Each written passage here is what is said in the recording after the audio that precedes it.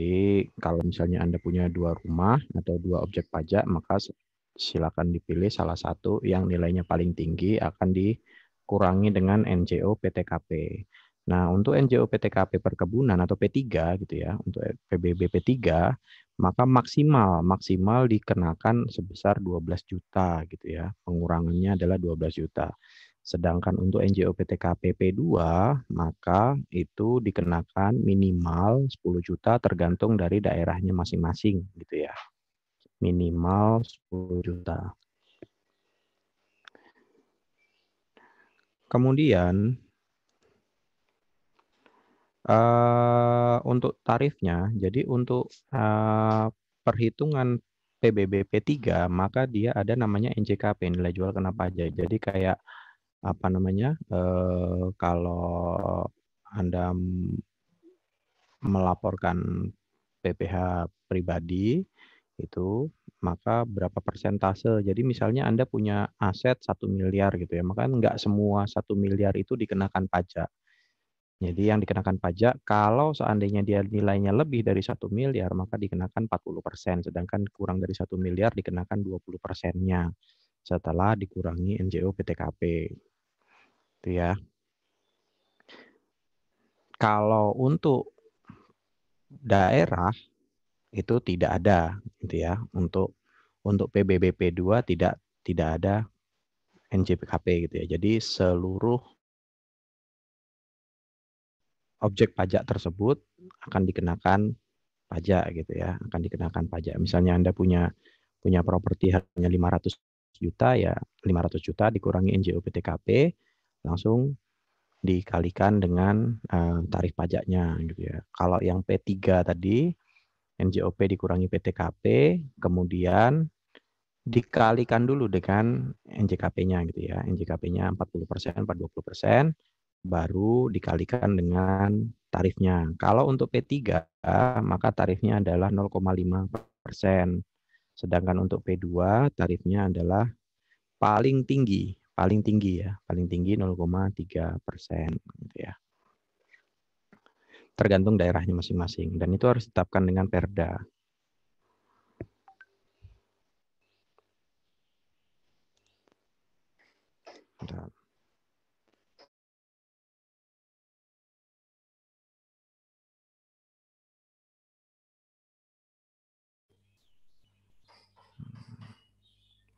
Nah,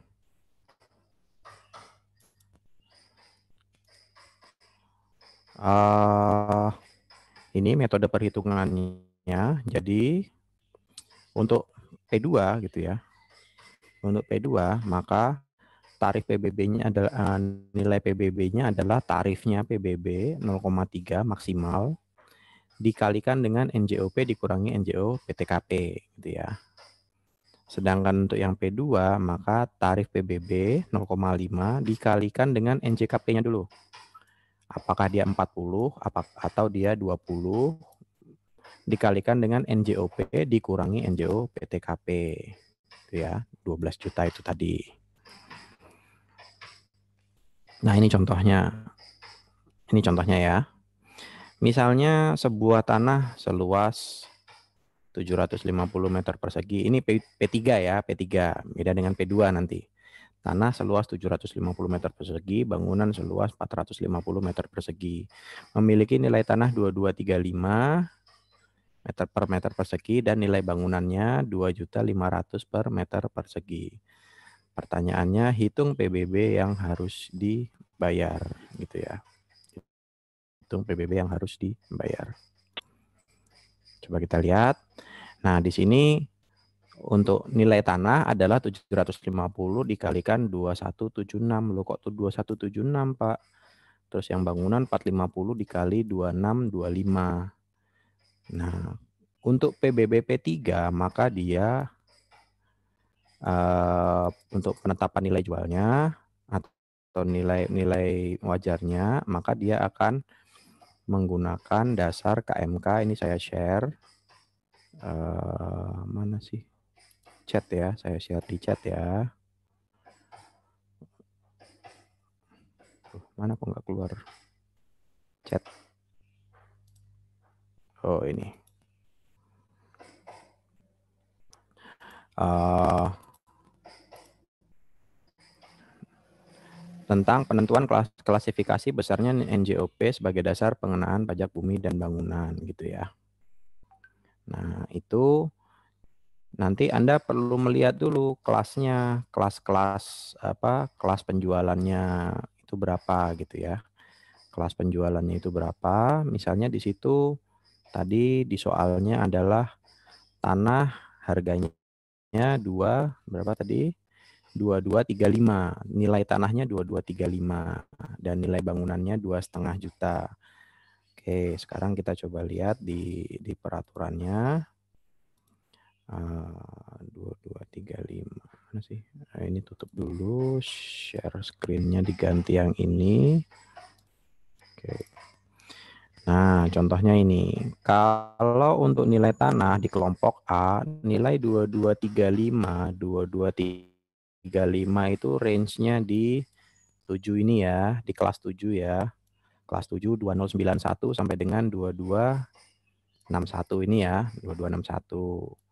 2235. Maka nilai jual buminya adalah 2176. 2176 itu ya. Faktor pengalinya adalah 2176 untuk range gitu.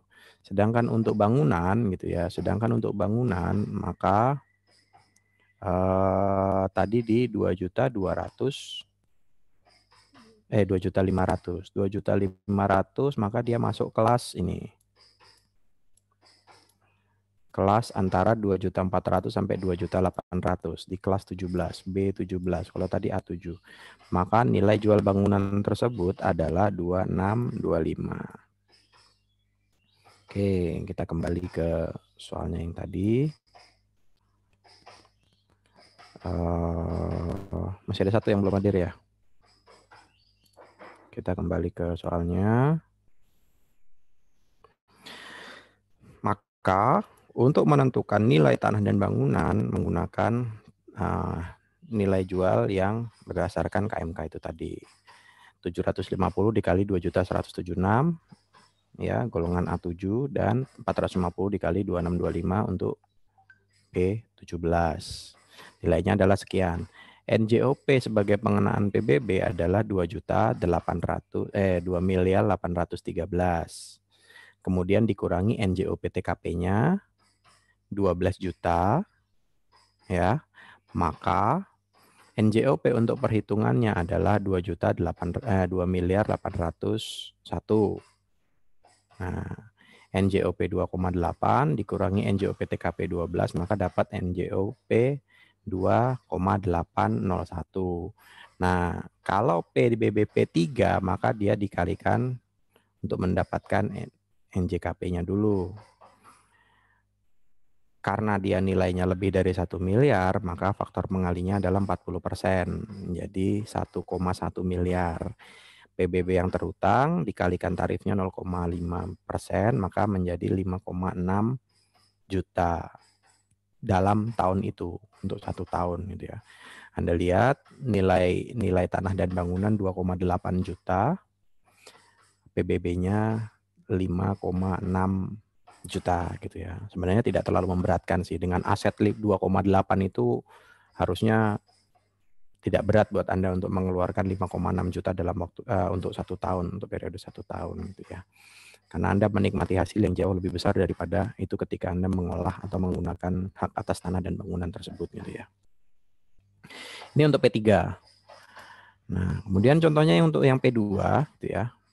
Misalnya Bu Ira punya dua properti di lokasi yang berbeda. Rumah tinggal di Bintaro, NJOP-nya adalah 600 juta.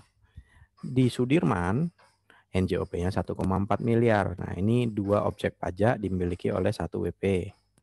Itu ya, subjek pajak. Diketahui NJOP TKP untuk kedua daerah tersebut adalah 10 juta. Asumsinya NJOP TKP-nya sama nih antara di Bintaro, di Tangerang Selatan sama di Jakarta nih, sama nih. Apabila di soal tidak ada mau tahu misalnya tidak ada nanti ketika misalnya ujian gitu ya atau apa, tidak ada Eh, berapa NJO PTKP-nya, berapa tarif, maka Anda menggunakan asumsi normalnya gitu ya. Asumsi normal kalau NJO PTKP PBB P2 itu 10 juta, kecuali Pemdanya mengatur lain, misalnya Jakarta 40 juta, apa 50 juta gitu ya. Atau tarifnya diatur lain, misalnya untuk Jakarta 0,25 gitu, untuk Tangsel 0,1 misalnya seperti itu. Asumsinya adalah asumsi standar 0,3 maksimal gitu ya. Kalau untuk yang injil PTKP-nya minimal 10 juta. Tentukan PBB kedua properti tersebut. Nah, kita lihat di sini ada dua, dua objek pajak dengan nilai berbeda 0,6 eh, 600 juta dan 1,4. Maka eh, perhitungannya adalah kita cari yang paling mahal dulu, misalnya ya di Sudirman nilainya 1,4 miliar, maka 1,4 miliar dikurangi NJO PTKP 1390. Nah, 1390 ini tidak ada di sini kan tidak dikenalkan NJKP gitu ya. Jadi kalau untuk PBB P2 langsung dikalikan dengan tarifnya hasilnya adalah 4.170. Itu ya. Nah, ini uh, bedanya P2 sama P3 nih. Kalau misalnya Anda punya punya aset 1 miliar, 4 pajaknya 4, kalau tadi Anda PBB P3 itu ya, uh, asetnya sampai 2,8 miliar, PBB-nya cuma 5 juta sekian gitu kan ya. Ya, karena memang kalau untuk yang PBB P3 kan meskipun Anda punya luas tanah dan bangunan sebesar itu yang Anda gunakan untuk perkebunan, Anda tidak occupied semua gitu ya, tidak occupied semua. Sementara kalau untuk yang PBB apa untuk yang rumah tinggal pribadi atau P2 atau perkantoran bisnis dan segala macam itu kan Anda occupied semua gitu ya. Anda menggunakan ruang itu dengan secara maksimal gitu. Kalau perkebunan, perikanan itu kan banyak space-space ya. Ya memang sebenarnya efektifnya itu enggak 100% enggak dikenakan semua gitu dan juga pemerintah juga mempertimbangkan aspek uh, ini ya uh, apakah memberatkan bagi WP itu sendiri gitu ya. Kalau misalnya pajaknya terlalu tinggi, mungkin orang akan berpikir dua kali untuk ber, melakukan usaha di bidang itu juga. Ini salah satu uh, pertimbangan pemerintah dalam menetapkan tarif pajak. Nah, jadi untuk yang ruko Jalan Sudirman itu dengan nilai 1,4 miliar dikurangi NJOP TKP 10 juta, kemudian baru dikalikan tarifnya 0,100 A langsung dikarikan dengan tarif 0,3 karena NJO PTKP-nya sudah digunakan di rumah Jalan Sudirman itu tadi. Satu WP dapat satu NJO PTKP meskipun dia beberapa uh, objek pajak gitu ya. Kira-kira seperti itu. Uh, ini perbedaan antara P2 dan P3 gitu ya. Jadi kalau P2 itu uh, NGO PTKP-nya maksimal 12 juta, kalau uh, P3, eh, P2 minimal 10 juta. Kalau di P3 mengenal istilah NJKP, kalau di P2 tidak dikenakan. Gitu ya. Silakan Anda baca nanti dasar-dasarnya. Uh, sampai dengan PBB ini, ada yang mau didiskusikan dulu? Satu pertanyaan mungkin. Kalau ada.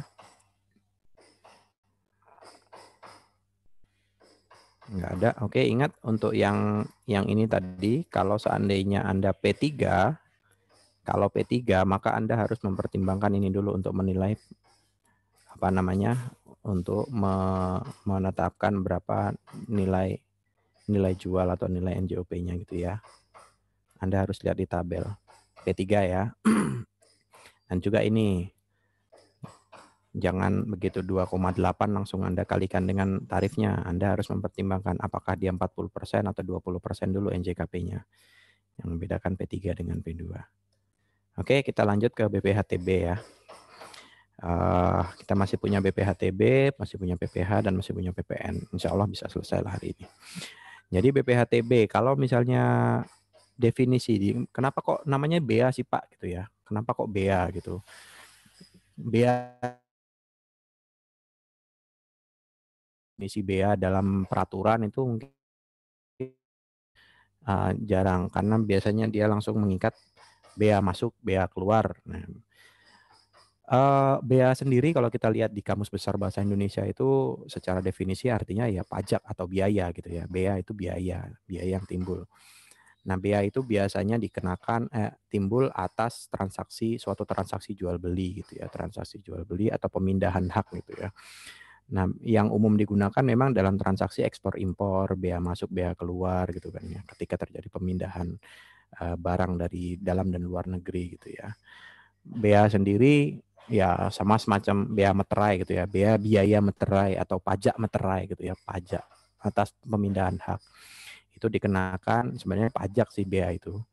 Uh, karena ada itu tadi pemindahan hak antara satu orang ke orang yang lain. Dalam konteks ini kalau ini kan hak atas tanah dan bangunan ya. Kalau bea meterai itu hak atas barang karena perjanjian jual beli gitu kan.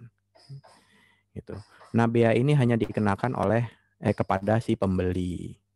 Bedanya dengan pajak, kalau pajak itu sifatnya eh, terikat waktu gitu ya, satu tahun satu periode. Kalau bea itu tergantung dari jenis transaksinya. Semakin banyak transaksinya ya maka setiap transaksi itu dikenakan bea perolehan.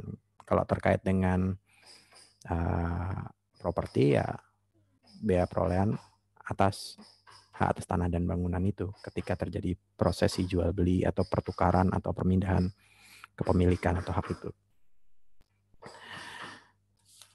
Oke, uh, kita ke slide 32, dasar hukum nanti Anda baca sendiri. Jadi ini tadi subjek BPHTB ada orang atau badan yang memperoleh hak gitu ya, pembeli dalam hal ini pembeli. Gitu ya. Sedangkan objeknya adalah uh, itu tanah atau bangunan atau uh, terjadinya suatu peristiwa hukum yang menyebabkan peralihan hak atau pemindahan hak atau pemberian hak baru kepada si subjek pajak itu eh, subjeknya itu tadi. Konteksnya yang kita bahas ini adalah tanah dan bangunan gitu ya. Kemudian jenis-jenis objek pajak itu bisa kita bisa kita peroleh melalui perolehan hak baru, misalnya melalui jual beli, tukar menukar gitu ya. Kemudian dapat dari hibah, dapat dari wasiat, dapat dari warisan gitu ya. Sama kayak apa namanya kemarin pemindahan hak uh, eh, PBB juga sama gitu ya. Bisa juga dia berasal dari uh, pemberian hak baru gitu ya, pemberian hak baru gitu. Misalnya di di luar dari perpasan hak misalnya diberikan nah, dari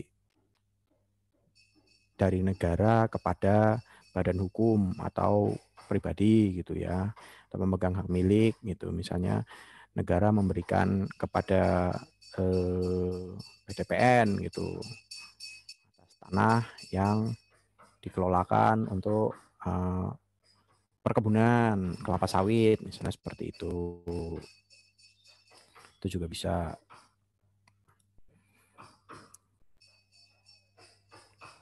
Kemudian uh, untuk objek yang tidak dikenakan BPHTB sama ya yang terkait dengan uh, diplomatik untuk kegiatan sosial gitu karena warisan dan apa wakaf atau warisan dan segala macam. Dasar pengenaannya adalah nilai objek pajak gitu ya, nilai objek pajak. Nah, penetapannya berdasarkan harga transaksi. Nah ini dia, jadi kembali ke yang saya ceritakan di eh, pertemuan-pertemuan sebelumnya, jadi ketika penetapan BPHTB itu didasarkan atas harga transaksi. Misalnya, misalnya uh, tanah di Bintaro ini nilai NJOP-nya 200 juta gitu kan ya. Kemudian uh, harga transaksi yang terjadi sebenarnya transaksi real, market market price-nya itu terjadi kesepakatan antara si penjual dan pembeli 500 juta. Namun ketika harga transaksi itu eh, dibawa ke ke notaris eh, untuk mengesahkan, artinya menetapkan prosesi jual beli. Nah, ini ini yang sering kali di, dibuat apa ya, di, di per, dijadikan apa ya?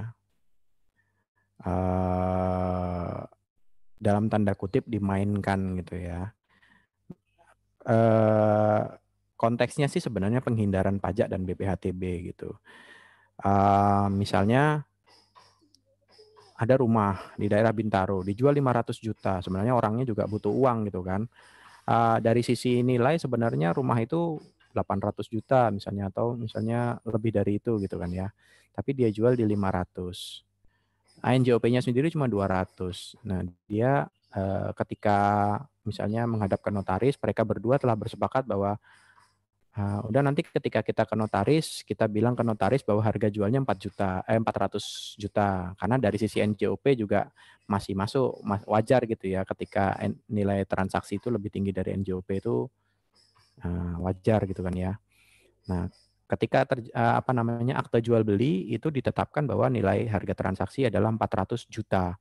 Maka uh, penetapan BPHTB, PPH dan lain-lainnya yang timbul, pajak yang timbul itu atas harga transaksi yang ditetapkan yang telah disahkan oleh akta jual beli dari notaris tersebut.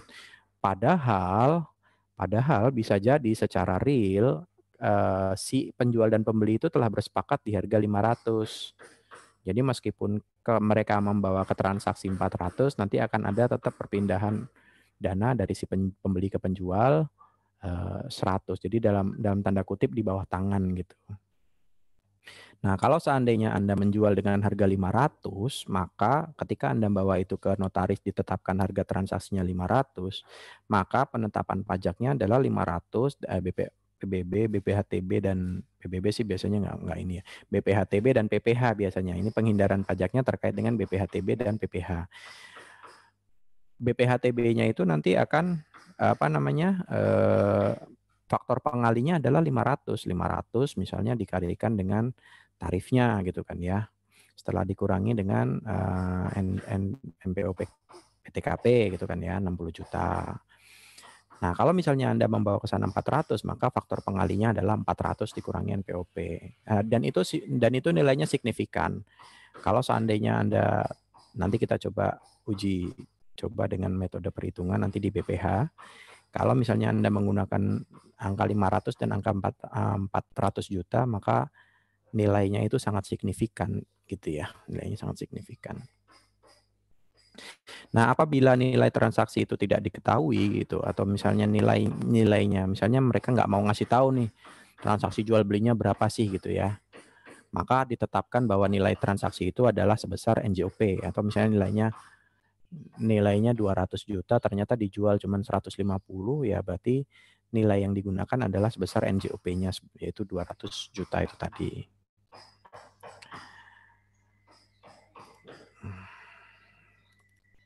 Hmm. Nah ini uh, untuk BPHTB juga ada besaran NPO PTKP gitu ya. Kalau untuk uh, untuk wajib pajak orang pribadi yang berasal dari pembelian gitu kan ya. Maka ditetapkan bahwa paling rendah minimal minimal bisa 65 bisa 70 tergantung dari daerahnya masing-masing. Itu 60 juta. Sedangkan kalau misalnya Anda memperoleh hak waris itu juga ditetapkan masing-masing minimal 300 juta. Jadi misalnya Anda dapat warisan, nilainya 400 juta, warisan tanah atau uh, bangunan gitu ya. Kemudian Anda me, me, melakukan balik nama, balik nama dari orang tua Anda ke Anda, uh, maka nilai nilainya itu 400 juta itu dikurangi dengan 100 juta, eh, 300 juta, maka yang dikenakan BPHTB adalah 300, 100 juta. Gitu ya. 100 juta dikalikan tarifnya. Ya karena apa? Sebenarnya dari sisi dari sisi Anda itu dari sisi keluarga itu tidak ada uh, pemindahan ekonominya itu tidak seperti ketika Anda melakukan transaksi jual beli. Itu kan masih satu garis masih satu garis lini gitu ya. Dari orang tua ke anak gitu. Lain halnya kalau misalnya uh, dari orang satu ke orang lain, dari WP1 ke WP lain, maka itu dikenakan lebih tinggi. Makanya NPO PTKP-nya hanya 60 juta. Dan itu untuk masing-masing Pemda menetapkan uh, bisa menetapkan sendiri gitu ya berapa nilainya. Tapi pada umumnya sih biasanya mereka tetap mengacu ke sini untuk menghindari menghindari ya apa ya hal-hal yang sifatnya tarif pajak itu sensitif gitu kan ya. Jadi kadang-kadang antara daerah satu daerah lain ketika tarifnya berbeda itu bisa mengundang apa uh, demo lah atau per, apa protes lah dari warga dan segala macam. uh, khusus untuk untuk rumah rumah sederhana gitu ya, rumah susun sederhana, rumah sederhana gitu ya. Maka uh, NPOP TKP-nya 49 juta, sedangkan untuk pengusaha mikro itu NPOP TKP-nya 10 gitu ya. Ya karena nilai mereka juga tidak besar gitu ya, tidak besar sehingga NPOP TKP-nya juga juga kecil kan kalau untuk yang rumah sangat sederhana itu rumah sederhana sangat sederhana itu kriterianya di bawah 88 juta gitu. 80 juta, 90 juta, nggak sampai 100 juta. Maka Nah, sebenarnya yang dipajakin kalau asumsi asumsi misalnya nilainya uh, eh, 80 juta lah gitu ya dikurangi 49 juta atau 50 juta ya yang dikenakan pajak tuh sebenarnya ya 30 juta itu 30 juta dikali uh, tarif pajaknya uh, tarif BPHTB-nya 5% itu enggak signifikan lah gitu ya nilainya sangat kecil dibandingkan kalau misalnya Anda beli 500 juta gitu ya 500 juta ya BPHTB-nya bisa sampai 20-an juta gitu kira-kira seperti itu. Nah, ini untuk tarif BPHTB paling tinggi 5%, tergantung dari Pemdanya masing-masing gitu kan ya. Untuk yang nilai NPOP-nya lebih dari NJOP atau diketahui NPOP-nya, maka dia menggunakan NPOP dikurangi NPOP TKP. Nah, kalau tidak ada, maka menggunakan NJOP gitu ya. Tarif BPHTB-nya dikalikan NPOP dikurangi dengan NPOP TKP-nya dulu 60 juta atau lebih dari itu tergantung dari Pemdanya. Kemudian kita coba contohnya perhitungan BPHTB. Ibu Ira memiliki tanah di Depok. Nilai NPOP-nya 50 juta. Apabila di kota Depok itu nilai NPOP-nya 60 juta, NPOP TKP-nya 60 juta, berapa BPHTB yang dibayarkan. Nah, kita coba membandingkan NPOP apa BPHTB adalah tarif dikali uh, eh, NPOP dikurangi NPOP TKP. Nah, ketika NPOP-nya lebih rendah daripada NPOP TKP, maka pemindahan hak atas tanah dan bangunan tersebut tidak dikenakan biaya atau biaya gitu ya karena ya ibaratnya kalau Anda mendapatkan uh, sama dengan apa ya pajak PPh 21, kalau Anda mendapatkan uh, memiliki pendapatan di bawah PTKP, maka pajak Anda nihil gitu ya, seperti itu. Contoh yang lain misalnya, uh, Ibu Mita memiliki membeli rumah seluas 115 di atas HGB 276 di Kota Tangerang Selatan transaksinya adalah 750 juta. Diketahui dari SPPT PBB bahwa NJOP-nya adalah 800 juta.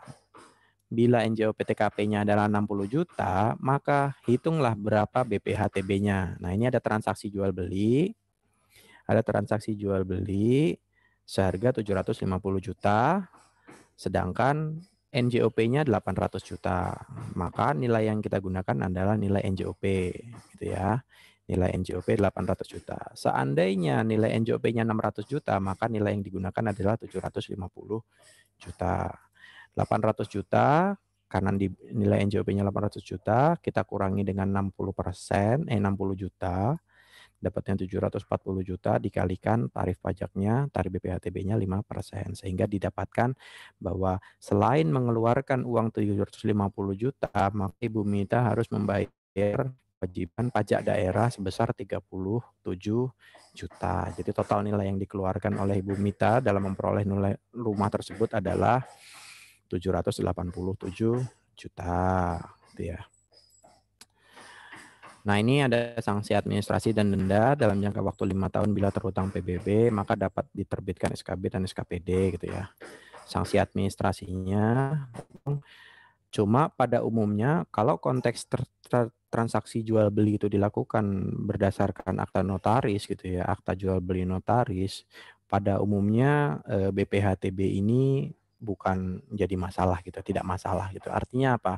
Dari sisi notaris tersebut mereka sudah memitigasi risiko eh, terjadi permasalahan di kemudian hari, terjadi dispute di kemudian hari. Pada umumnya sebelum sebelum si notaris ini menerbitkan akta jual beli, maka masing-masing pembeli dan penjual harus menyelesaikan dulu kewajibannya kalau si penjual dia harus membayar dulu PPh-nya gitu ya. Membayar dulu PPh-nya berdasarkan nilai transaksi jadi dibayar di muka gitu ya dibayar di muka. Jadi sebelum terhutang dia sudah dibayar duluan.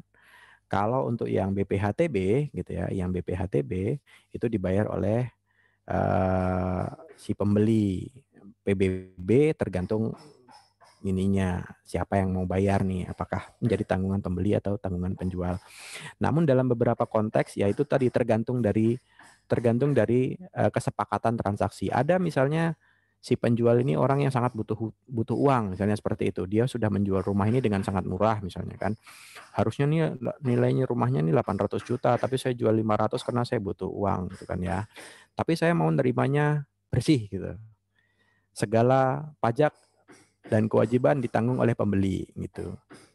Kalau memang transaksinya mengatakan seperti itu ya nggak masalah gitu. Artinya PPh beli nanti si pembeli itu akan membayar 500 juta ditambah PBB misalnya kesepakatannya seperti itu, ditambah BPHTB-nya, ditambah PPh-nya si pembeli penjual gitu ya. Dia cuma mengatasnamakan penjual saja tapi yang bayar sih tetap si pembeli gitu. Jadi si, pembel, si penjual itu tetap menerima net 500 tanpa dikurangi apa pun. Kalau konteks normalnya pajak pembeli ditanggung pembeli, pajak penjual ditanggung penjual, tapi ada kalanya yaitu tergantung dari kesepakatan gitu. Kalau misalnya harganya di atas harga pasar, maka si pembeli si pembeli bisa menegosiasikan pokoknya pajak pembeli dan penjual ditanggung sama penjual misalnya seperti itu. Tergantung dari uh, ininya ya kesepakatan transaksi. Nah, perlu Anda perhatikan juga bahwa dalam setiap transaksi properti atau real estate itu nilai transaksi atau market value yang terjadi itu, nilai pasar yang terjadi itu tidak cuma itu gitu ya. Jadi uh, yang yang dinamakan harga perolehan itu adalah uh, biaya transaksi sampai dengan termasuk seluruh biaya yang dikeluarkan sampai dengan aset tersebut dapat digunakan. Itu konsep akuntansi gitu ya. Jadi kalau si penjual maka asetnya itu adalah 500 dikurangi dengan PPh yang dia bayarkan gitu ya. Kalau pembeli maka dia 500 ditambahkan dengan pajak-pajak atau biaya-biaya yang dia keluarkan misalnya BPHTB. Jadi seperti itu. Jadi bukan berarti ketika ada dijual rumah 500 gitu kan. Jadi 500 ada pengeluaran lain yaitu kewajiban kepada negara dan daerah gitu ya. Ya seperti itu. Contoh perhitungan BPHTB kalau nggak salah. Oh tadi udah ya. Oke, sampai di sini terkait dengan PP, PBB dan BPHTB ada yang mau didiskusikan dulu mungkin? Silakan.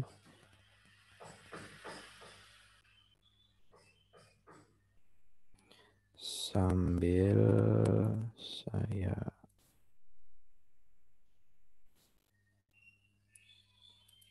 Sudah lengkap ya 29 orang ya. Eh 28 orang. Oke, saya screenshot dulu. Buat portal. Silakan yang mau menampilkan wajahnya di dalam portal.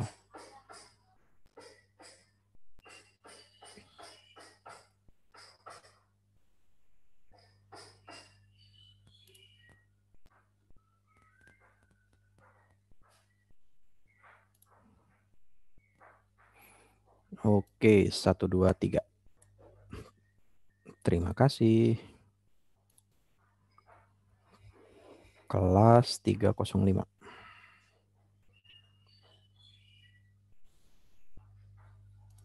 Hmm.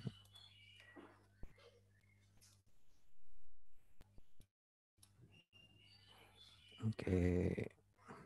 Kita break sejenak 5 menit. Saya isi portal dulu. Kalian silakan barangkali ada yang mau nanya silakan disampaikan.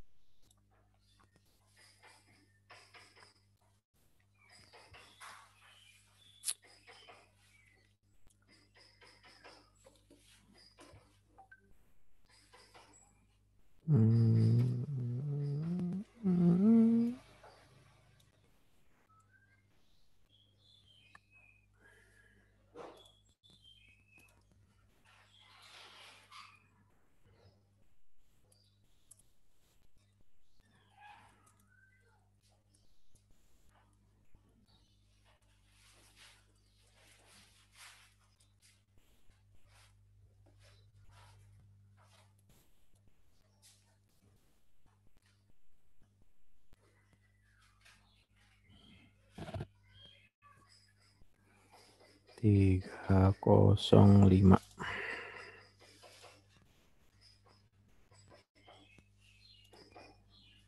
Oke.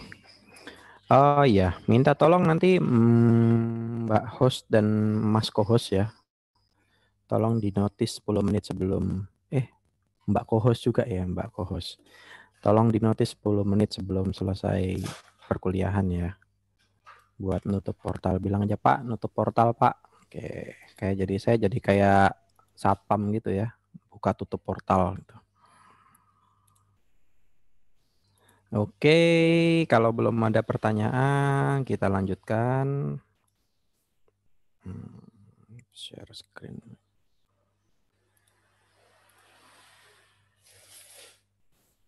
Gampang ya untuk men, me, menghitung PBB, BPHTB gitu ya. Nah, untung kalian masuk pajak gitu ya. Kalau kalian masuk akuntansi, dapat akuntansi manajemen gitu ya, akmen, manajemen keuangan. Eh kalian dapat juga nggak sih? Dapat pak, Manajemen, manajemen keuangan. manajemen keuangan dapat Pak.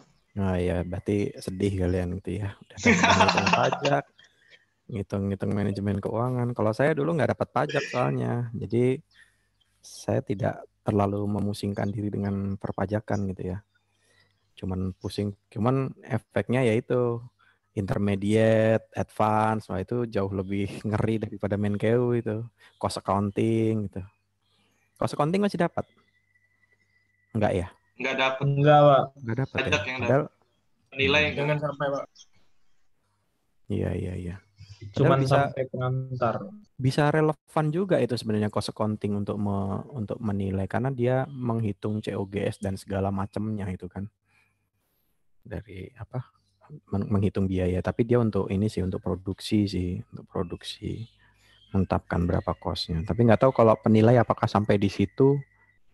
Saya juga nggak tahu untuk untuk menetapkan suatu harga pasar atau menetapkan harga wajar itu apakah dia sampai menghitung berapa sih COGS yang yang yang wajar gitu untuk dalam produksi itu.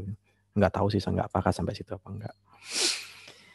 Oke, eh kita lanjut ke PPH. Jadi tadi PBB sama BPHTB adalah pajak daerah kecuali yang PP P3 ya, PBB P3. Sedangkan kalau pajak penghasilan dan PPN, PPNBM itu adalah pajak pusat. Ya, jangan sampai ketukar. Oke, ini karena banyak jadi saya harus notice eh, slide-slide mana aja yang supaya kita bisa bisa mengcover semua lah.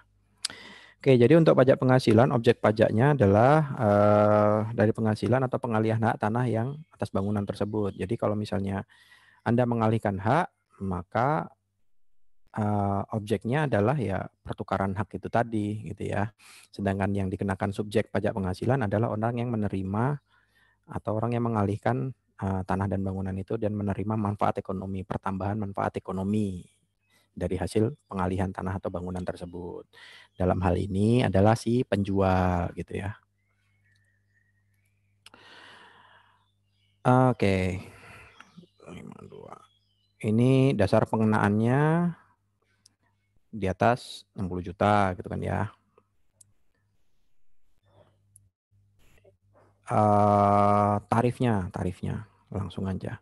Tarifnya untuk secara umum tarifnya itu adalah dua dua setengah persen gitu ya, dua setengah persen dari jumlah bruto. Kalau jadi kalau misalnya tadi eh, transaksi transaksi jual beli rumah 500 juta gitu kan ya, maka untuk BPHTB itu tadi tarifnya 5 persen.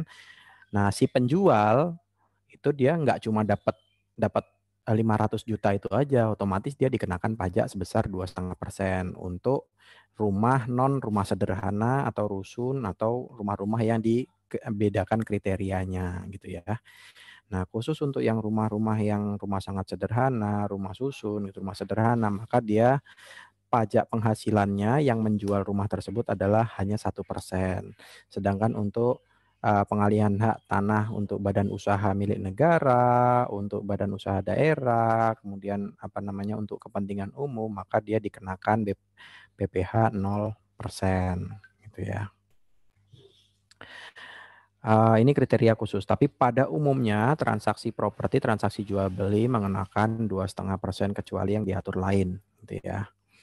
Nah, 57 untuk jasa konstruksi ini khusus untuk yang melakukan uh, misalnya Anda bangun rumah atau atau apa ya, Anda kontraktor gitu ya, maka Anda juga dikenakan PPh atas pembangunan atau properti tersebut itu sebesar ini ya dua setengah untuk swasta kecil menengah persen gitu ya. Kalau misalnya Anda melakukan jasa jasa perencanaan dan pengawasan atas kan Anda biasanya kalau di awal itu tahap konsultan perencana ya dan konsultan pengawas pengawas pekerjaan gitu. Nah, itu juga di, dikenakan PPh atas uh, kegiatan tersebut. Jadi kalau misalnya memiliki kualifikasi nilainya 4%, kalau tidak memiliki kualifikasi 6%. Uh, konteksnya kalau memiliki kualifikasi sih sebenarnya kan karena dia memenuhi syarat-syarat yang ditetapkan gitu kan. Jadi kayak misalnya kalau Anda punya NPWP maka tarif pajaknya sekian. Kalau Anda tidak punya NPWP maka tarifnya akan lebih tinggi. Seperti itu. Sebenarnya ya karena anda nanti akan dikenakan tarif pajak PPh badan atau PPh orang pribadi di akhir tahunnya. Jadi sebenarnya dua kali gitu kan. Tapi kalau Anda tidak memiliki kualifikasi atau tidak memiliki NPWP misalnya seperti itu, maka ya cukup sekali dikenakan tapi nilainya sangat tinggi. Ya seperti itu. konsepnya sebenarnya seperti itu gitu ya.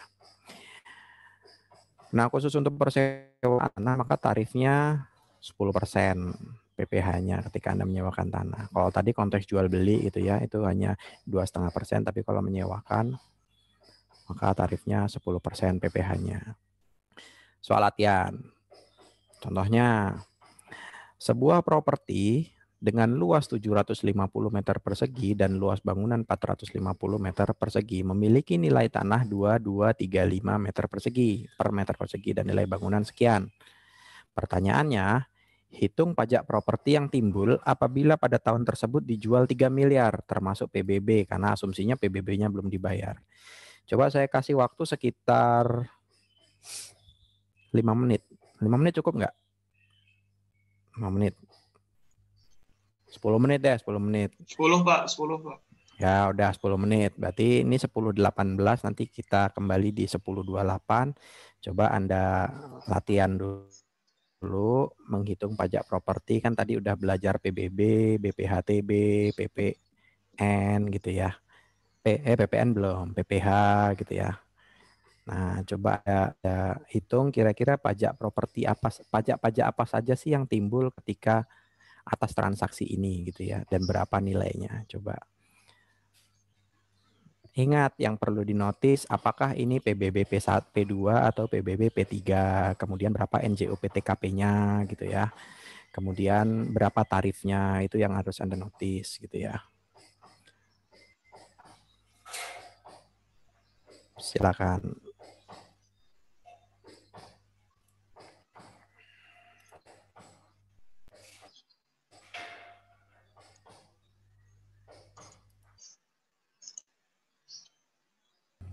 Kita bagi deh, kita bagi. Uh, siapa dulu? Satu-satu ya, pajaknya ya. Siapa dulu? Ada yang mau?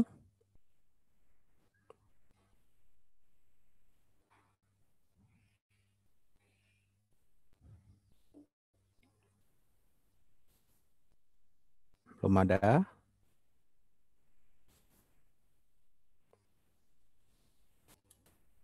Ada yang mau mencoba? Gak apa-apa, salah nggak apa-apa.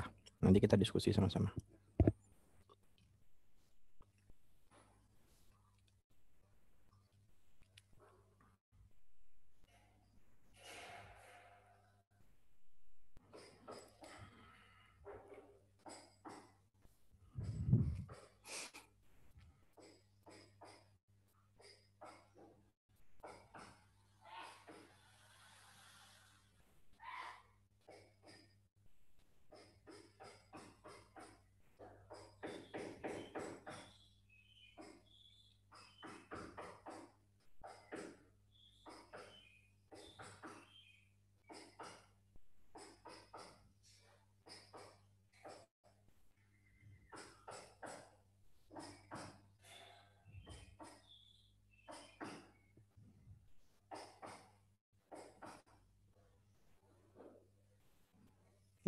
Ada yang mau?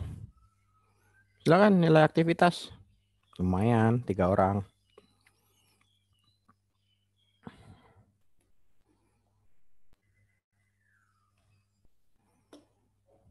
Nggak Ada. Izin menjawab, Pak. Oke, silakan Mbak Aula.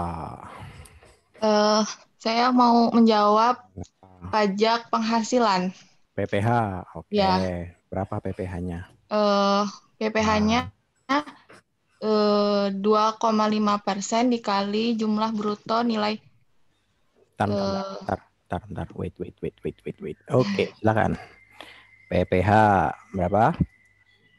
2,5 persen dikali 5 persen dikalikan dikali Kali berapa? 3 miliar. 3 M sama dengan 75 juta ya, Pak. 75 juta. Oke. Mm. Ada yang berpendapat lain untuk PPH? Silakan. Oke, coba yang lain. Saya Pak Ah, ah, siapa ini? Mbak Tiara, silakan. Tiara. Eh, kalau menurut saya Pak karena Mhm. di soal itu ada kata-kata 3M itu termasuk PBB karena PBB belum dibayar jadi 3M itu saya kurangi dari PBB-nya dulu kemudian Mhm. baru saya kalikan 2,5 persen. Dikurangi PBB dulu, baru dikurangi 35 per, eh, Baru dua setengah persen gitu ya. Dikalikan ya. Dua setengah persen. Iya, Pak. Oke. Ah, kayaknya salah menginterpretasi soal nih. Jadi mungkin ini soalnya juga rancu sih ya. Jadi maksudnya eh, hitung pajak-pajak properti yang timbul termasuk PBB-nya gitu. Asumsinya PBB-nya itu belum dibayar. Jadi biasanya kalau dalam konteks jual beli itu kan yang timbul kan BPHTB sama PPH dua itu. Karena PBB itu asumsinya dia memang setiap tahun jadi harusnya di- yang saya ceritakan minggu lalu sudah dibayar di awal tahun atau nunggu nunggu jatuh tempo gitu ya. Tapi ini diceritakan bahwa PBB ternyata ketika lak- melakukan jual beli itu PBB-nya belum dibayar nih. Nah, PB-nya PBB-nya berapa? Maksudnya sekalian mau nanya gitu. Coba Anda hitung berapa nilai PBB-nya, berapa PPH-nya, berapa BPHTB-nya. Ya nggak apa-apa Mbak. Apa eh, bisa saja sih Anda menginterpretasikan seperti itu. Tapi ingat bahwa proses transaksi ini eh, untuk harga 3 miliar itu adalah harga, nilai nilai ininya ya. Nilai transaksinya gitu ya, nilai transaksinya. Jadi pembayaran PBB itu di luar nilai transaksi karena PBB itu memang merupakan kewajiban kepada negara atau daerah. Konteksnya daerah nih ya PBB ya. Tapi eh, untuk pajak yang dibayarkan atau yang akan dijadikan peng- pe- pengali dari PPH itu adalah nilai 3 miliar yang diterima oleh si penjual. Kecuali konteksnya kalau misalnya ini 3 miliar dikurangi harga PBB-nya loh ya, misalnya dari dari transaksinya. Bisa juga sih seperti itu gitu ya. Jadi eh, nanti harga transaksi yang dilaporkan dalam transaksi jual beli di di notaris ya 3 miliar dikurangi PBB-nya. Tapi nggak lazim gitu ya, nggak lazim. Biasanya 3 miliar tuh ya udah harga transaksinya ini, kemudian nanti PBB-nya dibayar sendiri gitu. Oke nggak apa-apa. Kalau nilai PBB-nya sendiri berapa Mbak kira-kira? Udah ngitung belum Mbak Tiara? Eh, itu Pak Mm-mm. 74 juta 859 950. PBB 74 juta. PBB-nya Pak maaf Pak. Iya, Eh, PBB. PBB-nya itu 5 juta 602. 5 602 000. Itu ya. Iya. Ada yang berpendapat lain untuk PBB? Sama, Pak. Saya, Pak. Silakan, Mas siapa? Mas Afan, ayo boleh.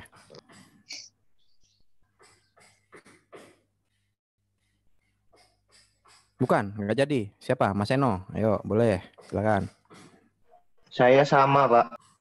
Sama, Mas Eno sama 5 juta 600 juga. Iya, Pak. Hmm, Mas Afan sama, Sama, Pak. Sama iya. Oke, kalau PP eh BPHTB-nya berapa? Coba. Ada yang mau berpendapat? Silakan.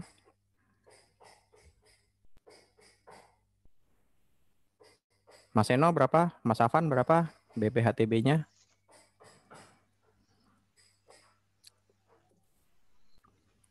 Silakan.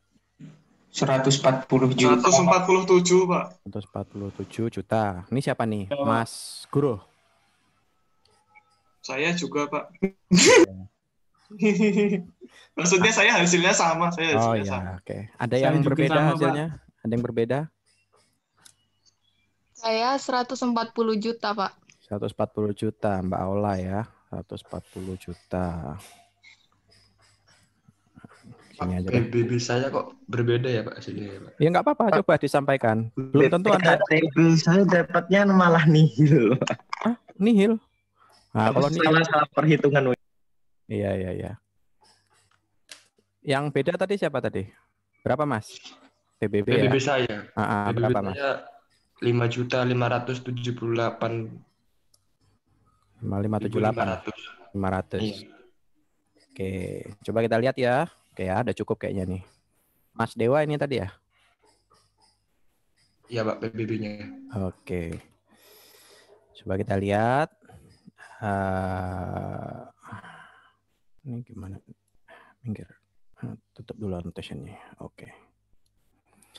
Oke, jadi kita lihat sama-sama penilaiannya. Tuh, PBB-nya kok beda, Pak? Nah. Oke, jadi yang pertama kita notice adalah ini adalah P2 gitu ya, P2. Kalau P2 tetap menggunakan angka ini ya. Tuh. Nah, untuk buminya jadi faktor pengalinya 2235 dikalikan 750. Sedangkan untuk bangunannya 2 juta setengah dikalikan 450. Dari sini kita bisa tahu bahwa NJOP-nya sekian. 2,8 ini 1,1 ditambah 1,6. Ya. Kemudian kita tahu dari soal bahwa NPOP-nya adalah 3 juta. Eh, 3 miliar. Nah, kok nilainya pada 5,5, 5,6? Mungkin ada yang miss nih perhitungannya nih. Coba Anu, kita lihat. Hmm. Dikira PBB P3 Pak. Oh, PBB P3 gitu ya. Nah.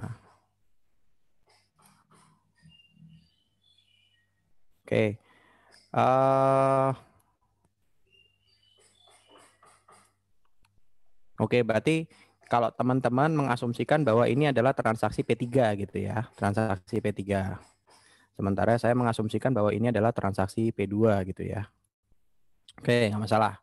Jadi kalau misalnya dia P3, maka nanti Anda harus melihat eh, ini ya, melihat berapa kelas berapa dia masuk kelas berapa gitu ya. Masuk kelas berapa, kemudian penilaiannya berapa gitu ya. Nanti nanti NJOP-nya pasti akan berbeda antara P3 dengan P2. Kemudian juga tarifnya akan berbeda 0,0,5 kalau misalnya P2 adalah 0,3. Nah, dari sini eh, jangan lupa Anda 2,8 itu dikelu- dikurangi dengan NPO PTKP.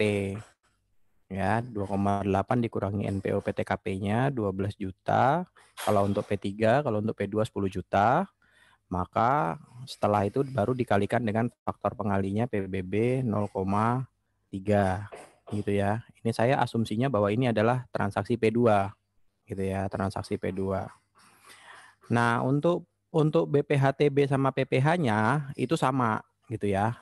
BPH BPHTB sama PPH-nya itu sama, tidak melihat bahwa dia transaksi P2 atau P3 gitu ya. Maka untuk PB transaksi PPH-nya itu kita harus apa? PPH sama PPHTB kita harus membandingkan NJOP dengan NPOP. Karena kebetulan NPOP-nya lebih tinggi dari NJOP, maka dia untuk penilaiannya menggunakan NPOP 3 miliar gitu ya, menggunakan NPOP. Sebenarnya tadi pertanyaannya kenapa kita harus menghitung eh, mengha- kenapa kita harus menghitung PBB dulu karena sebenarnya kita di, diminta untuk bera- menghitung berapa sih nilai NJOP-nya gitu ya. Nah, dari sini eh, NPOP-nya adalah 3 miliar dikurangi dengan NPO PTKP sebesar 60 juta gitu ya, 60 juta. Kemudian dikalikan dengan tarif 5%. Berarti ya tadi yang 4 147 juta gitu ya, sudah benar. Berarti yang 140 juta nanti coba dicek lagi ya penilaiannya. Kemudian untuk PPh-nya langsung dikalikan faktor pengalinya 3, 3 miliar dikalikan 2,5 persen menjadi 75 juta sudah benar gitu ya. Nah jadi memang kalau seandainya nanti di dalam soal tidak ada tidak ada apa ya keterangan gitu ya, uh, anda mengasumsikan bahwa itu adalah P2 saja gitu. Karena apa? Karena kalau misalnya Anda P3 sedangkan Anda tidak diberikan tabel, maka Anda tidak bisa menghitung gitu ya. Tapi kalau misalnya Anda diberikan tabel, kemudian di situ ada keterangannya, maka atau misalnya di awal Anda harus menulis asumsinya dulu gitu ya. Anda menulis asumsinya dulu. Kalau misalnya Anda kan ujiannya nanti online gitu ya, ujiannya online. Kalau misalnya Anda ditanya eh, Anda bisa buka buka tarifnya gitu ya buka tabel. Nah, makanya di situ Anda asumsikan bahwa transaksi untuk P3, transaksi untuk P2 gitu ya. Maka di situ bisa uh, uh, diketahui karena ini faktor ininya nanti berbeda, nilai jualnya berbeda, tarif PBB-nya juga pasti berbeda. Nah, yang jadi masalah ketika nanti NJOP-nya berada di, di atas NPOP. Kalau nilai NJOP-nya di atas NPOP, maka ke bawah akan menjadi salah semua. Kira-kira seperti itu. Saya mengasumsikan ini adalah P, PHP2, eh, apa PBBP2 karena uh, konteks yang lagi kita bahas nih P2 nih dari atas ke bawah nih. Tapi nggak apa-apa dan juga asumsinya bahwa di sini tidak diberikan tabel gitu ya, tidak diberikan tabel. Jadi Anda harus nggak harus ngecek ke belakang dulu gitu. Oke, kira-kira seperti itu. Coba kita asumsikan kalau misalnya ini yuk, kalau misalnya dia pakai uh, saya screen share ya. Pakai P3 gitu ya, P3. Kalau untuk yang BPHTB sama PPH nggak ada masalah ya perhitungannya ya. Mungkin yang uh, Mbak yang tadi 140 mungkin ada yang miss kali. Ini yang kelihatan Excel, benar? Iya Pak. Iya, Excel Pak. Oke, coba kita ambil contoh misalnya tadi berapa 2235 sama 2 juta 500 eh 2 juta 500. 2235 sama 2 juta 500. Oke. Ini bumi, ini bangunan. Coba kalau 2 juta 2 2235 masuk ke kelas A7 juga. Berapa nih nilainya tadi? Yuk yang bikin P3 tadi. 2 juta Dua. 176 ribu. 176000. Oke, kalau yang ini 2 juta 600 625 ribu. 2625000 gitu ya. Maka NJOP-nya adalah ini tadi berapa? Uh, 450 750 sama 450 ya. 750 sama 450. Maka ini dikali ini sama dengan dikali ini sama dengan ini tambah ini.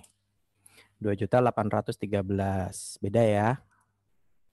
2.801 gitu ya. Nah, kalau seandainya dia NPOP-nya sekian, maka PBB-nya adalah berapa? Uh, kita catat dulu NPO PTKP-nya berapa? Berapa? 12 12 juta. Oke. Tarifnya 0, nah 0, berapa? 0,5. 0,5 ya. Benar ya? Oke, maka ini dikurang ini. Benar ya? Karena dia 28, maka NJKP-nya berapa?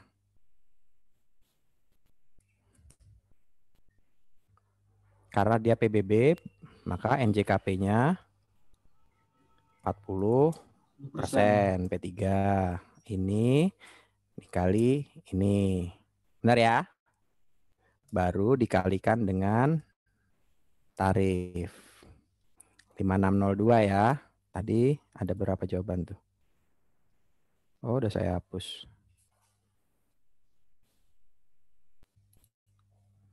Ini ya, nilainya ya. Kalau untuk P3. Ini P3. Kalau ini P2. Nah, P2 tadi yang tadi itu ya. Oke.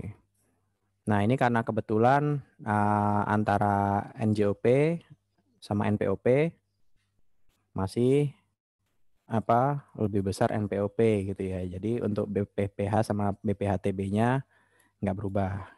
Gitu ya kira-kira ya. Oke. Kalau misalnya nanti ada soal atau Anda ketemu ini, uh, Anda tidak disediakan dengan cukup data, asumsikan saja bahwa itu P2 gitu ya. Asumsikan bahwa itu adalah P2. Karena P2 tidak perlu melihat tampil. Seperti itu. Oke ya, untuk yang PBB sama BPHTB sudah. Sekarang kita coba, oh PPH juga sudah gitu ya. Uh, nanti yang salah coba dicek lagi. Sekarang kita ke PPN. Jadi ke PPN itu sebenarnya di, dikenakan untuk uh, properti yang baru gitu ya, yang baru yang dijual oleh developer. Jadi kalau misalnya Anda jual beli uh, tanah dari satu orang ke orang lain, rumah second gitu, tanah sek, rumah second gitu ya. Itu nggak ada PPN gitu ya, kecuali Anda bangun baru, maka biasanya developer apa? developer itu dalam transaksi jual belinya itu dikenakan PPN karena itu usaha transaksi jual beli bisnis yang memang uh, objek pajak gitu ya, objek objek pajak PPN. Nah, uh, tarifnya sama 10% gitu ya untuk properti baru. Jadi biasanya konteksnya itu kalau orang jual rumah biasanya uh, rumah di Bintaro 800 jutaan gitu ya. Nah, ini tinggal tergantung dari uh, marketing strateginya gitu ya. 800 jutaan free BPHTB, PPN, uh, balik nama, sertifikat hak milik dan segala macam gitu. Artinya sebenarnya nilai rumahnya itu tidak sampai 800 gitu ya. Karena mereka sudah mempertimbangkan keuntungan, sudah mempertimbangkan biaya-biaya yang timbul setelah itu. Artinya dia mencoba menciptakan image di masyarakat yang mau beli rumah bahwa rumahnya di situ harganya 800 kita udah nggak perlu ngeluarin biaya-biaya lagi gitu. Tapi ada juga yang misalnya memang dari sisi harga rumah itu sudah sudah mahal gitu ya. Rumah di Bintaro mulai 800 jutaan gitu kan ya. Nah, nanti ketika transaksi Anda masih dikenakan PPN 10% jadi 880 gitu kan. Nanti Anda masih harus bayar BPHTB gitu. BPHTB dari 800 juta bisa sekitar 30 40 jutaan gitu ya. Nanti uh, jadi uh, yang Anda keluarkan lebih dari iklan yang disampaikan gitu ya. Tapi itu ya itu tadi kembali ke strategi marketingnya. Biasanya sih tarif 10% ini sudah di-include-kan dalam dalam promosi tapi uh, si pengembang si developer atau si penjual rumah ini dia uh, wajib ya wajib pungut gitu ya, wajib pungut ketika dia melakukan usaha jual beli itu. Nanti dia yang menyetorkan ke kas negara. Jadi seperti itu. Uh, khusus untuk yang KMS gitu ya, kartu menuju sehat kalau saya tahu. KMS itu kegiatan membangun sendiri. Jadi Anda Anda bangun rumah sendiri gitu kan ya, maka dikenakan PPN-nya itu untuk yang nilainya di atas di atas 200 juta, 200 meter persegi atau lebih gitu ya. Yang besar gitu ya. Kalau kalau misalnya rumah saya ini 90 meter bikin sendiri gitu, saya beli tanah 90 bikin sendiri ya nggak nggak kena ini PPN ya. Tapi kalau misalnya luas tanah Anda 250, kemudian Anda bikin rumah di situ, maka Anda dikenakan PPN sebesar 20% dari biaya yang dikeluarkan. Gitu. Belum termasuk apa tapi tidak termasuk biaya perolehan tanah itu cuman khusus bangunannya saja. Gitu ya. Uh, untuk menghitung 20% itu juga apa namanya uh, dasar pengenaan pajaknya itu juga ada faktor pembaginya sebesar 1,1. Jadi sebenarnya jatuhnya ya ujung-ujungnya 10 persenan lebih juga gitu, sekitar 10 persenan nggak nggak nggak jauh dari situ gitu ya. Kembali apabila NJOP-nya lebih kecil dari nilai transaksinya, transaksi yang lebih besar maka menggunakan nilai transaksi. Kalau nilai transaksi lebih besar maka menggunakan NJOP. Tapi amat sangat jarang kalau NJOP itu nilainya lebih besar. Kecuali ya itu tadi rumah rumah hantu yang berada di Bintaro gitu ya. Ada rumah di rumah di Bintaro 100 meter persegi dijual 100 juta gitu. Wah, rebutan orang. Ternyata rumahnya berhantu misalnya seperti itu itu NJOP-nya pasti udah 200 300-an juta kok dijualnya 100 juta atau rumah sengketa gitu ya. Uh, rebutan hak waris bisa bisa jadi gitu. Nah, Anda harus harus notice itu kalau misalnya mau membeli suatu properti dari sisi legalitas terutama karena nilai yang Anda keluarkan itu tidak sedikit gitu ya. Dari sisi legalitas. NJOP-nya 200 juta tapi ini kok dijual 100 juta. Wah, berarti ada sesuatu ini gitu. Oke. Oke, itu terkait dengan PPN. Kemudian ada beberapa pengecualian PPN terkait dengan RS dan RSS gitu ya, yang dibebaskan. Jadi kriteria-kriterianya adalah yang pertama luas bangunan tidak melebihi 36 meter persegi. Ini rumah sangat sederhana, tipe 36 gitu ya. Tipe 36 tuh 6 kali 6. Rumahnya 6 kali 6. Kamar aja itu ukurannya tiga kali tiga kalau normalnya ya dipepet-pepetin dua setengah kali dua setengah. Kalau misalnya lebarnya dua enam enam meter gitu ya berarti dipotong tiga setengah kali tiga setengah eh tiga kali tiga atau dua setengah kali dua setengah sisanya tinggal satu meter di belakang buat dapur atau buat kamar mandi gitu kan ya. Atau kalau tiga kali tiga ya habis berarti kamar mandinya di sebelah kanan gitu. Belum dapur belum ruang tengah belum lain-lain. Makanya itu uh, khusus untuk yang nilainya di apa luas bangunannya 36 meter persegi ke bawah tipe 36 itu dibebaskan dari pengenaan PPN gitu ya. Atau harga jualnya tidak melebihi Nah ini tergantung kriterianya. Kalau di daerah Sumatera, Jawa, Bali dan segala macamnya 88 juta gitu kan. Yang di Papua 145 juta. Ternyata mahal juga ya tanah apa bangunan di Papua. Iya juga sih karena uh, bahan bakunya juga mahal ya, semen dan segala macam itu di Papua bisa 150 sampai 200 ribu itu. Dulu zaman saya waktu masih meriksa di Gorontalo itu, saya dengar cerita dari teman saya itu, kan waktu itu semen di Gorontalo sempat langka tuh, harganya sampai 70, 80 bahkan sampai 100 ribu gitu. Nah, waktu itu di situ bilang, "Wah, ini 100 ribu masih mending, Pak. Di sini satu sak 100 ribu." Kalau di Papua tuh bisa sampai 150 sampai 200, Pak gitu saking mahalnya di situ ya karena ongkos kirimnya. Padahal di Jawa semen satu sak itu ya paling cuma lima puluh ribu gitu ya. Di sini lima puluh ribu. Kemudian salah satu kriterianya lagi merupakan rumah pertama yang dimiliki dan digunakan sendiri untuk tempat tinggal dan diguna tidak dipindah tangankan selama jangka waktu lima tahun. Jadi kalau Anda beli rumah itu untuk dijual kembali ya Anda tidak masuk dalam kriteria meskipun rumahnya 36 meter persegi gitu ya, tapi Anda beli rumah untuk dijual ya Anda tetap dikenakan PPN gitu. Ini seperti itu. Itu terkait dengan PPN, kemudian ada beberapa golongan kategori PPN BM yaitu rumah hunian mewah, itu dikenakan tarif 20% itu atas rumah townhouse yang sifat jenisnya non strata, non strata title dan itu untuk nilai yang 20 miliar rupiah. Kalau untuk yang apartemen, kondo, townhouse dan segala macam yang jenisnya strata, maka itu dikenakan nilai 10 juta eh 10 miliar rupiah dikalikan tarif 20% gitu ya dari harga jualnya. Emang ada Pak apartemen nilainya di atas 10 miliar Pak? Pak ada aja coba Anda googling di apa ya? Apartemen Da Vinci ya, itu paling gampang tuh. Apartemen Da Vinci itu lokasinya pas di segitiga emas apa Sudirman itu. Apartemen mewah itu kemarin kalau nggak salah ada yang dijual 17 miliar itu, 17 miliar. Apartemen secuplik Pak 17 miliar ya mendingan saya beli tanah sama beli rumah yang besar Pak gitu. ya kalau dia sudah beli apartemen seharga 17 miliar, dia pasti sudah punya rumah dan dan tanah yang jauh lebih besar dari itu lagi gitu ya.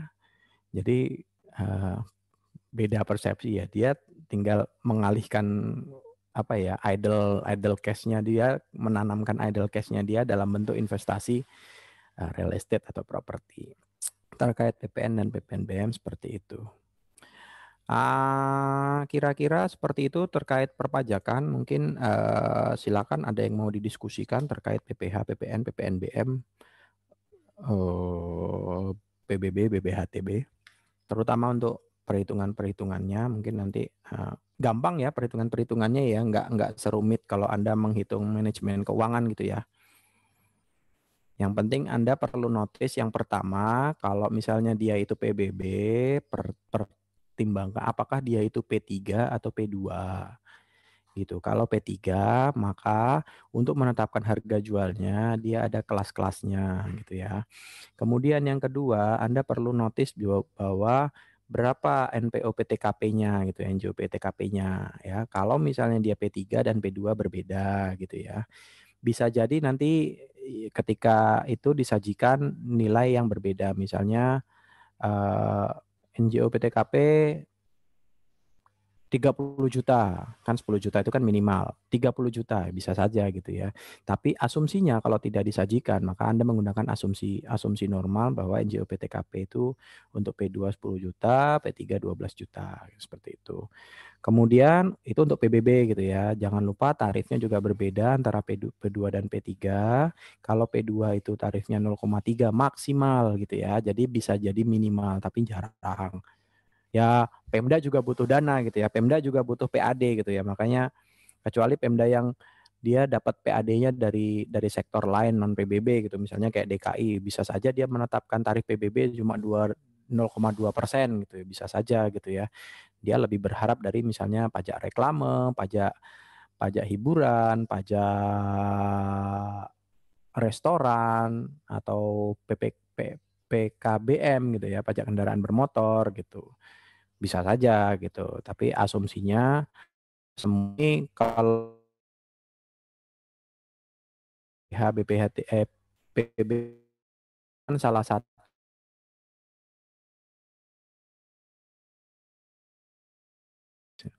karena sisi PKBM gitu eh, nggak terlalu besar gitu kecuali kalau metropolitan gitu ya kayak Tangerang, Tangerang Selatan, Banten itu apa pajak kendaraan bermotornya sangat besar gitu karena banyak banyak kendaraan bermotor di sini. Kemudian untuk BPHTB Anda perlu pertimbangkan juga apakah pertama Anda per, Anda perlu melihat apakah NJOP sama NPOP itu nilainya mana yang lebih besar gitu ya itu pertimbangan. Kalau nilai NP, NJOP lebih besar dari NPOP, maka Anda menggunakan nilai NJOP. Kalau NPOP lebih besar, maka Anda menggunakan NPOP. Itu dicari nilai yang paling besar. Dan jangan lupa ada NJO PTKP-nya juga, NPO PTKP-nya juga ya. Yaitu 60 juta secara default gitu ya. Tarif pajaknya untuk tarif B BPHTB-nya 5%, kalau untuk PPh-nya tarifnya 2 PPh ya. Nilai Kalau itu uh,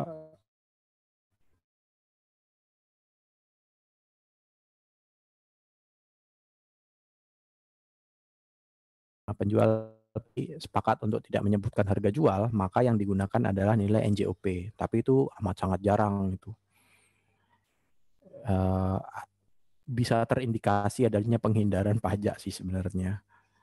Ya, bisa aja beli rumah ngikutin udah harga NJOP aja gitu. Eh, nggak wajar gitu ya padahal bisa jadi transaksinya lebih dari itu gitu.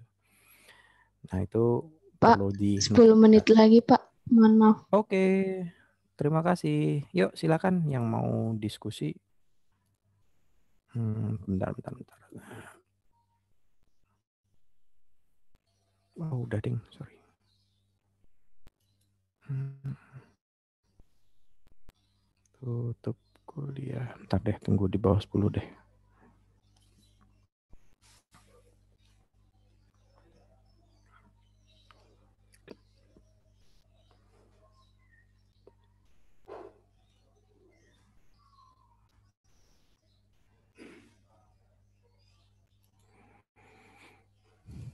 Oke.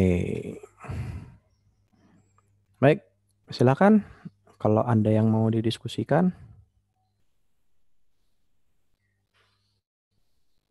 Kalau tidak ada mungkin kita bisa akhiri lebih awal karena ini mau Jumatan ya. Nanti kalau misalnya ada yang mau didiskusikan bisa kita lanjutkan via WhatsApp. Begitu aja. Atau ada yang mau nanya di sini? Silakan, masih ada waktu 10 menit. Tergantung kesepakatan teman-teman, saya ngikut aja.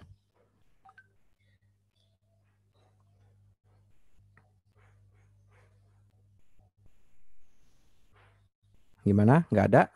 Oke, eh, kita akhiri saja Mbak Mbak host, Mbak co-host,